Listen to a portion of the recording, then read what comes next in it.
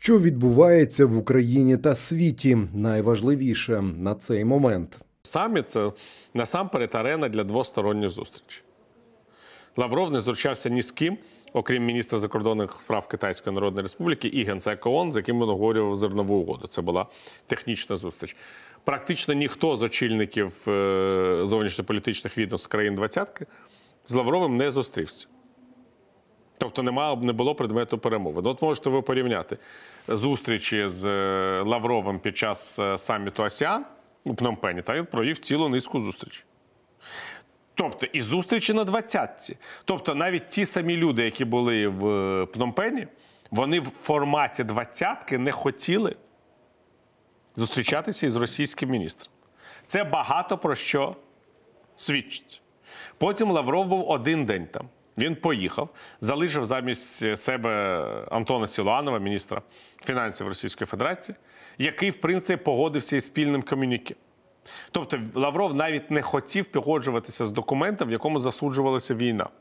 І разом із цим росіяни не хотіли сваритися із господарем зустрічі, президентом е, Індонезії Відода, який хотів, щоб був якийсь заключний документ. Але у Лаврова навіть не вистачило з цього такту самому залишитися, погодитися з цим документом. Далі. Він повністю уникав будь-якого спілкування з медіа. У нього був брифінг, на який запросили виключно представників пропагандистських структур російських, яких навіть не можна назвати журналістами. Це люди в погонах, гебісти, які просто працюють під маркою журналістів, але насправді вони отримують зарплату в абсолютно іншому місці на Луб'янці. І коли журналісти інші спробували просто задати Лаврову питання щодо там зустрічі, він їм сказав, розмовляйте з павичами. Ну, ще теж, якщо людина себе добре відчуває, впевнено, вона ж не буде хамити журналістам, правда? Ну, Лавров це зробив.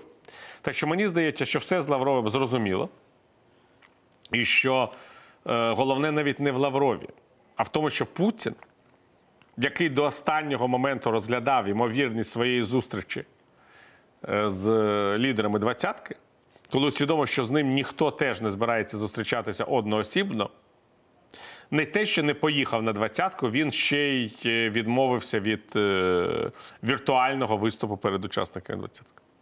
Це ж було б логічно. Якщо Зеленський звертається до лідерів країн двадцятки у віртуальному форматі, то Путін, як президент країни, яка є частиною двадцятки, яку ніхто звідти не виключав, мав би по ідеї звернутися до лідерів країн е, двадцятки з відповідним е, особистим посланням. Чому він цього не зробив?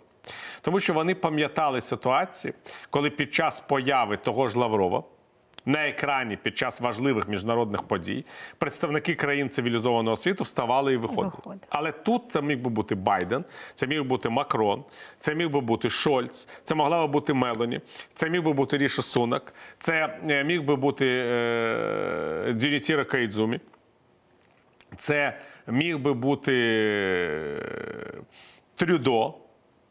От вам вся по суті група семи, але могли бути і інші керівники держав, скажімо, там е, з глобального півдня чи з Латинської Америки, які хотіли б таким чином солідаризуватися із Сполученими Штатами в ситуації, коли президент Сполучених Штатів там живий є, а Путіна там живого немає.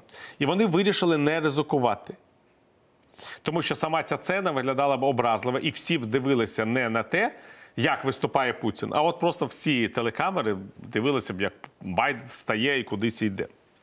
І вон, значить, цього приниження Путіну не хочеться переживати, і це теж багато про що говорить. Я зразу скажу, що скасування мобілізації це афера, тому що ніякого скасування немає. Вона починалася указом. Відповідно, вона має завершуватися указом. Те, що там розповідають в Росії великі юристи, заслужені там із і сенатори, і другі, які розповідають, що указу не потрібно. Цар повіліває, і все. Так я хочу нагадати, ви знаєте, цар повіліває завжди виходив глашата і читав, що цар повіліває. Воно було написано і затверджено. В даному випадку цього немає. Тобто, ми можемо констатувати, що всі є всі юридичні скажімо, підстави проводити мобілізацію далі. І я думаю, що Росія буде це використовувати. Це просто чергова така кремлівська афера, щоб приспати увагу, щоб всі подумали, що все окей, все нормально.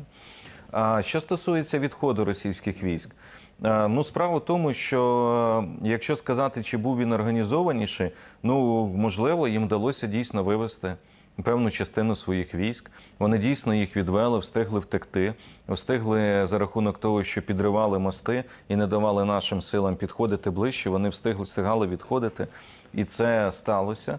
Питання в тому, що зараз я читаю звіти і британців і інституту вивчення війни. Вони говорять 15-20 тисяч військових, там 20. Із цих 20 треба розуміти, що ві- що десь 7-8 тисяч, як мінімум, це допоміжні, це тилові служби, батальйони, Да, да, да. ОМОНовці всякі там і так далі. Це не боєздатні. Крім того, треба розуміти, що частина цих військ вони втратили свою боєздатність, яку треба поновлювати. Там за різними оцінками від 10 до 40% втрачена боєздатність. А що це означає? Це означає, що потрібен час на перегрупування і доукомплектування. І якщо за рахунок мобілізованих можна вирішити кількість людей, да, можна, можна кинути їх. А техніка? А техніку де візьмуть настільки швидко? З технікою реальна проблема виникає. І ось тому, що так ну вдалося їм відвести. Зараз вони думають, скоріш за все, перекинути їх на Донеччину, якщо встигнуть, якщо зможуть. На сьогоднішній день вогнева потужність е, російських військ зводиться артилерійська переважна і важкого озброєння до того, що вони не можуть собі дозволити утримувати в однаковій мірі весь широкий фронт, який є від Сватового і який є до Мелітополя і далі до лівобережжя Херсонщини. Це проблема для них. І, вочевидь, на сьогодні навіть помітно. От подивіться, як вони, е, не, як вони вагаються. Вони перекидають війська частинами, але не поспішають. Вони вагаються, вони не розуміють. А де ж буде е, завданий удар українськими силами? Чи на сході, на Луганщині, чи на півдні? Де буде підсилено? Е, Чи буде підсилений? Район Бахмуту, де тривають інтенсивні бойові дії, де російські війська наступають. Тому мені здається, що перед нашими силами відкриваються перспективи до зими. Скажімо, відвоювати ще частину території або на півдні, або на сході, де вже буде прийнято рішення. Ми е, от пропонували, пам'ятаєте статтю генералів Залужного і Забродського? Так. Що було написано там? Ми повинні перейти до того, що е, можуть бути пасивні дії, пасивна оборона, і ми можемо обмінюватися ударами. Ну там ключове спроможності має мати українська армія для того, щоб наносити ці удари. У нас на сьогоднішній день, на жаль, немає спроможностей в повній мірі протистояти ударом на удар, так як це робить Росія.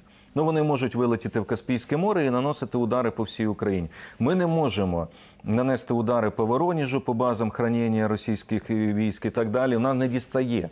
Тому який для нас вихід? Для нас вихід, звичайно, звільнити якомога більше нашої території, законсервувати і змусити російські війська просто замкнутися в Криму окупованому. А далі що?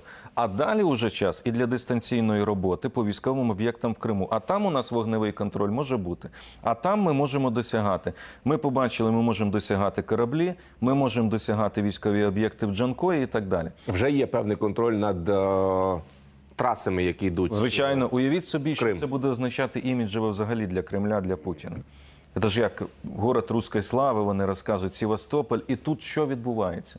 Ось мені здається, ось це і є тим ключем, тому що розумієте, е, і це і є ключем. Мені здається, що ось е, і е, нанесення досить серйозної істотної поразки для Росії, яка може стати ось тим тригером, про який говорять, що може припинити взагалі агресію. Ну тому що призведе до того, що війна зупиниться. Вже все. Тоді всі настільки розчаруються і будуть деморалізовані. Ось тому ми про це говоримо. Тому, принципі, ось це вікно можливостей, про яке і заявляють. Я думаю, що схиляюсь до того, що ми побачимо хороші новини десь до, до кінця грудня. Це точно. Підпишіться на канал і не пропускайте нові відео. Пишіть коментарі і діліться з друзями. Ми також будемо вдячні за підтримку нашої роботи на Patreon або інших зручних платформах. Реквізити в описі до відео.